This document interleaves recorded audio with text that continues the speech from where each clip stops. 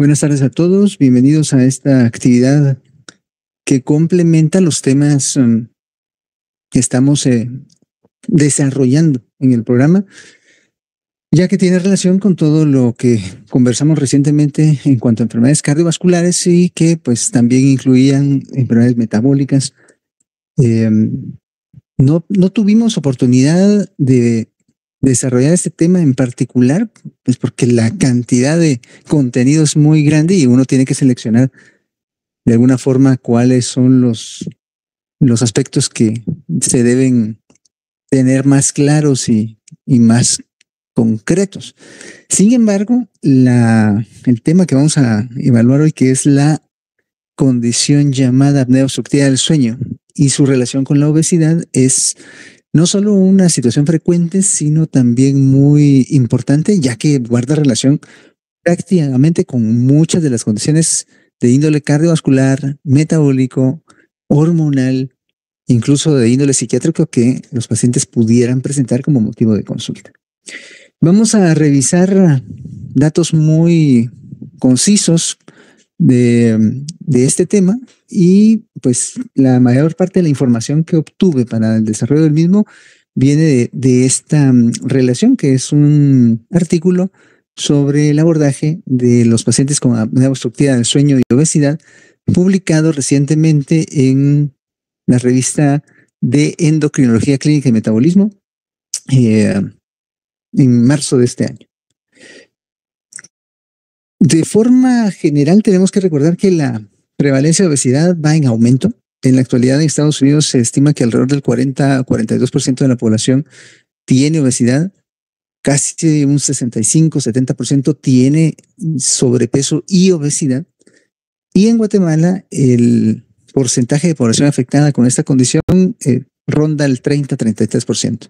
Si incluimos sobrepeso y obesidad, más del 60-65% de la población tienes esta, esta situación.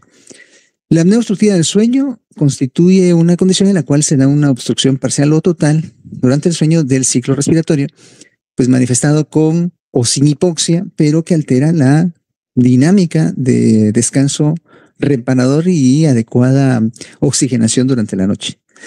La forma de evaluar la severidad de esta condición es a través de la determinación del índice de apnea y hipopnea que se eh, efectúa realizando una prueba de polisomnografía, como vamos a discutir un poquito más adelante.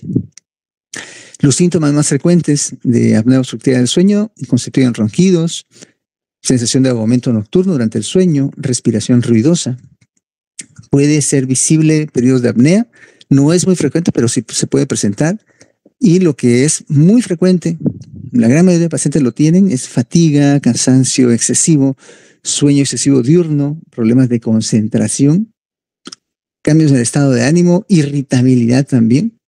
Y como factores de riesgo, aunque hay muchos, el género del paciente, es decir, el ser varón o ser mujer, implica una diferencia. La condición es mucho más frecuente en varones que en mujeres. La edad también es un factor de riesgo importante.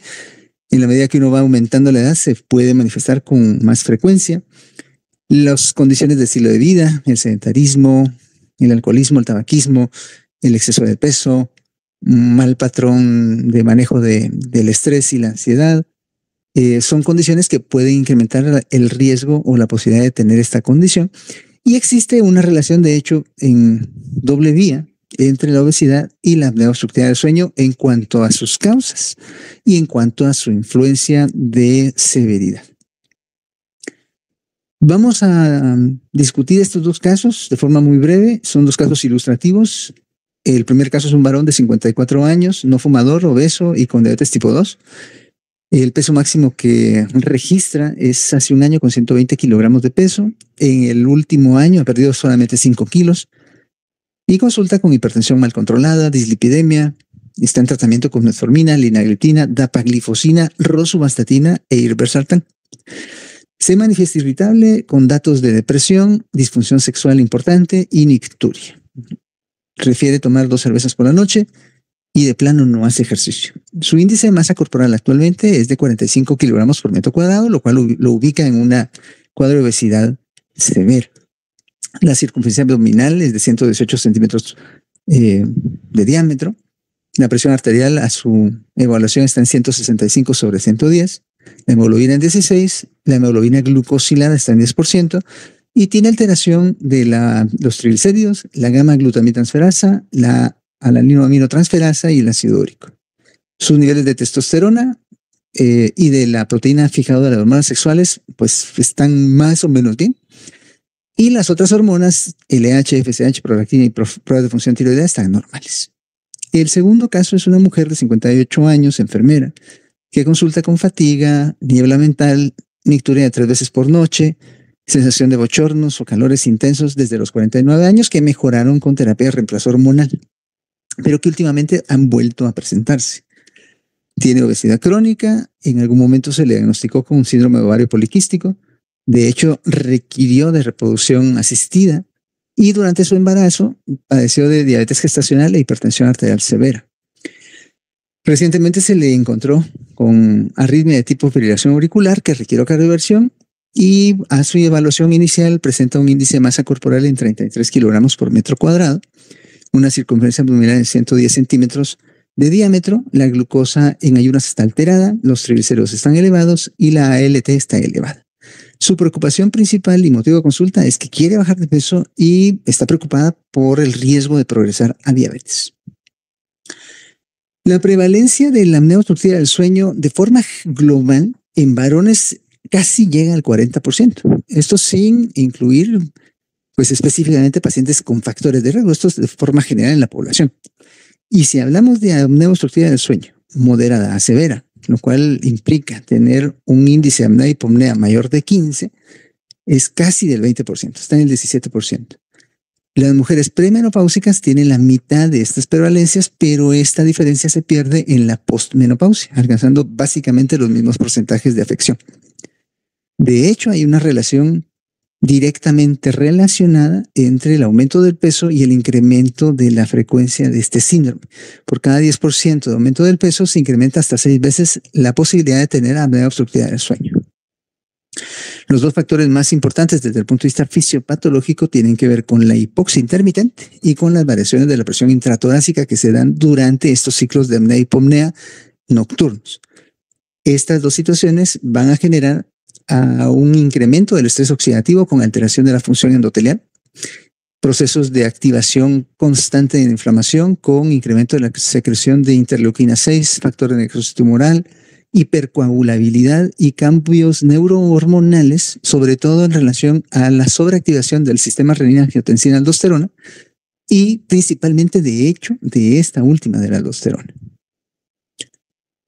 Si hablamos específicamente de pacientes con diabetes tipo 2 o intolerancia a la glucosa, el 80% tiene apnea obstructiva del sueño. Es muy frecuente que los pacientes con apnea del sueño también tengan alteración de los lípidos, sobre todo la dislipidemia característica o típica de la resistencia a la insulina, con triglicéridos elevados y colesterol HDL bajo. La frecuencia también de enfermedad de hígado graso no alcohólico se ve incrementada en este segmento de población y también el riesgo de que si se presentan en combinación, la fibrosis sea un problema que avance más rápido.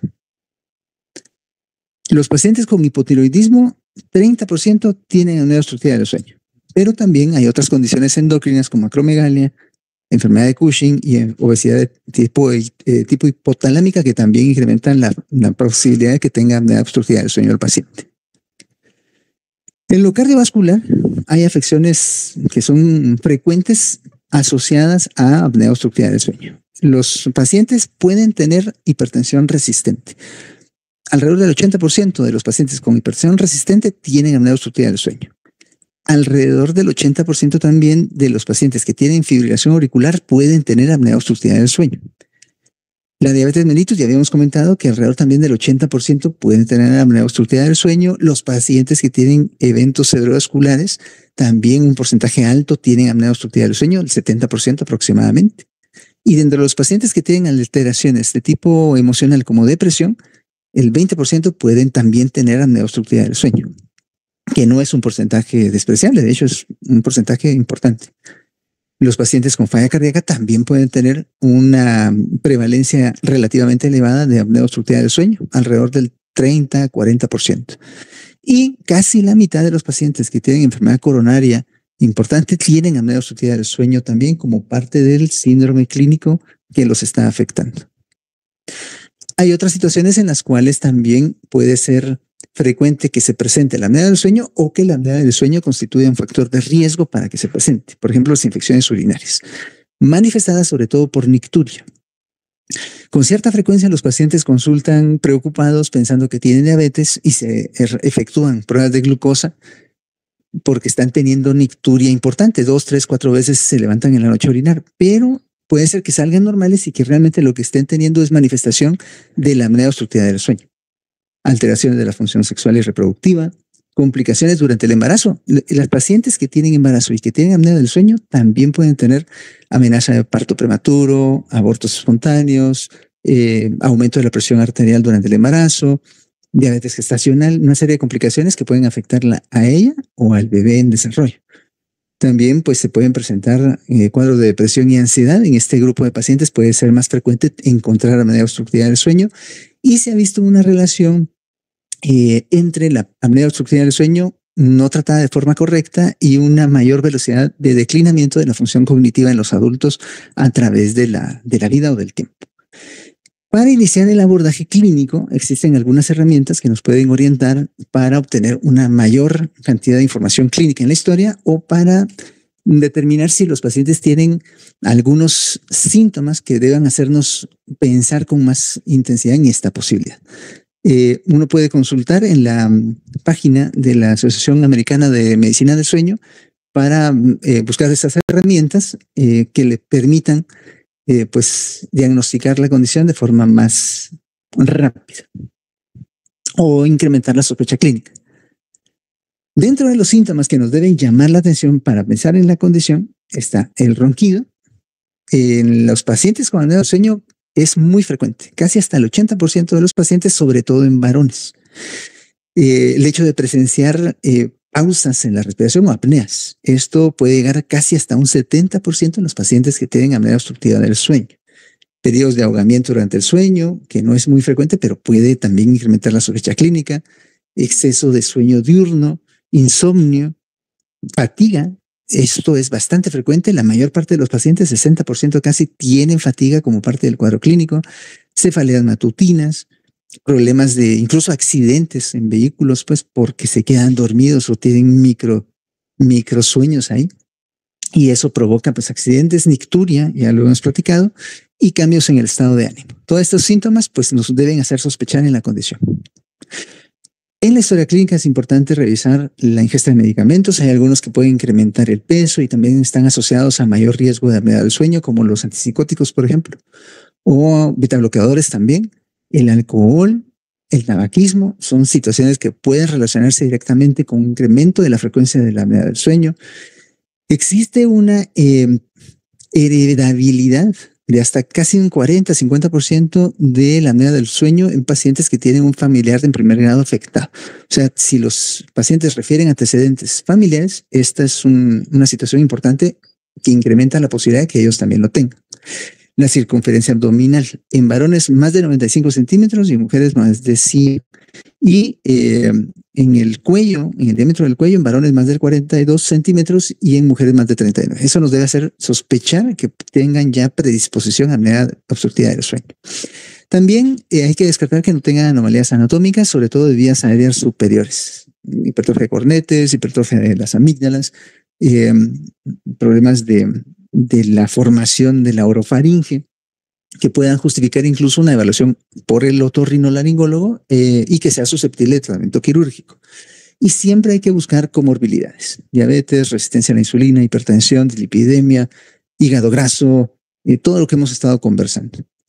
El estándar de oro para el diagnóstico es la realización de polisomnografía en un laboratorio de sueño. En la actualidad se puede realizar también este estudio de forma ambulatoria, sobre todo en los pacientes que tienen una sospecha elevada de tener la condición. los resultados son bastante compatibles con el diagnóstico, o sea, se podría utilizar eh, desde el punto de vista de costo-beneficio. Pero si hay mucha duda, hay que enviar al paciente a un laboratorio de sueño para establecer la, la situación, o sea, para diagnosticarla y para estadificar también su severidad de acuerdo al índice de hipopnea apnea que tenga el paciente. Si por hora se, se registran de 5 a 15 episodios de hipopnea apnea, pues estamos con un cuadro leve. Si se registran entre 15 y 30, estamos con un cuadro moderado y más de 30 por hora es un cuadro severo de apnea obstructiva del sueño. En el abordaje y manejo deben estar involucrados una serie de eh, áreas. El endocrinólogo para el diagnóstico, la sospecha clínica, el manejo de las condiciones metabólicas y endócrinas que el paciente requiera, sobre todo temas relacionados con resistencia a la insulina, diabetes, dislipidemia, peso, y en el seguimiento. El neumólogo también para el diagnóstico, establecer la severidad y de acuerdo a esto el manejo específico para la condición y el seguimiento de la misma. La nutricionista como parte del equipo de trabajo lograr que el paciente baje de peso porque la principal intervención que lo va a hacer mejorar de todo es que baje de peso de forma significativa. Y pues para coordinar obviamente las estrategias nutricionales con este objetivo. El terapista físico o el entrenador personal puede ayudarnos a desarrollar un plan adaptado al paciente para ir poco a poco recuperando su capacidad física, su capacidad aeróbica, la capacidad de hacer ejercicio. No podemos desde el principio un paciente que ha estado sedentario mucho tiempo pedirle o exigirle que vaya a correr 10 kilómetros al día. Uno tiene que planearlo de acuerdo a su condición actual e ir progresando cada cierto tiempo para que el paciente vaya también mejorando su capacidad física. Y pues también dentro del equipo de trabajo, eventualmente hay que considerar al psicólogo y psiquiatra por la frecuencia eh, de afección de situaciones del estado de ánimo que estos pacientes pueden presentar. ¿Qué pasó al final con estos dos casos que presentábamos? En el primer caso, en el varón, se añadió el uso de semaglutide y se suspendió la linagliptina. Se reforzó el manejo de las estrategias no farmacológicas con dieta, ejercicio, dejar de beber licor, dejar la cerveza, eh, y empezar a activarse físicamente. Después de cuatro meses de la intervención inicial, el paciente refería tener menos ronquidos, la circunferencia abdominal estaba en 113 centímetros de diámetro, la presión arterial ya estaba un poco mejor, 145 sobre 95, ya había un descenso en la hemoglobina glucosilada a 8% y había mejorado los triglicéridos, la GGT y la ALT. Se realizó la polisonografía y se determinó que el índice de apnea eh, y hipopnea del paciente estaba en 38 con una carga eh, hipóxica elevada y se determinó que debía usar CPAP.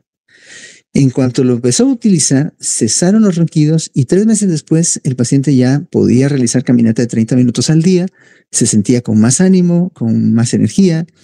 Eh, la circunferencia abdominal había reducido a 108 centímetros de diámetro, la presión arterial también había mejorado a 142 sobre 85 y la hemoglobina glucosilada mejoró a 7.2%. En el segundo caso, ante la alta posibilidad de que la paciente tuviera apnea obstructiva del sueño, se realizó la polisonografía y se determinó que tenía un índice de hipopnea de 15. Se indicó el uso de CPAP y tres meses después todos sus síntomas se habían resuelto de forma completa. No había referido esto antes, pero después en el reinterrogatorio refirió que hacía con frecuencia snacks nocturnos, pero esto lo había dejado de hacer a partir de que empezó con el uso del CPAP. Estaba realizando ejercicio tres veces por semana y los días que no hacía rutinas programadas, hacía caminata de 20 minutos pues en el día. No había cambios en el peso, pero había una mejoría significativa en su perfil metabólico con glucosa y una normal, perfil de lípidos adecuado, pruebas de función hepática normales, la hemoglobina glucosilada en 5.5 y se encontraba en ritmo sinusal en ese momento.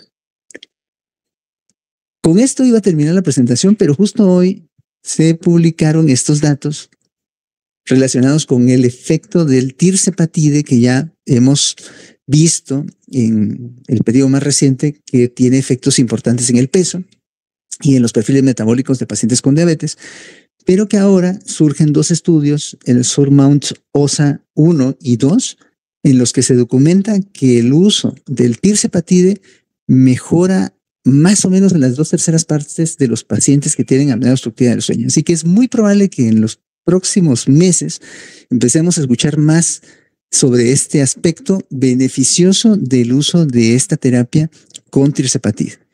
Eh, en cuanto al manejo de la apnea obstructiva del sueño eh, específicamente. De esta forma, pues ya me despido y espero que pues, nos podamos encontrar en la próxima oportunidad. Hasta pronto.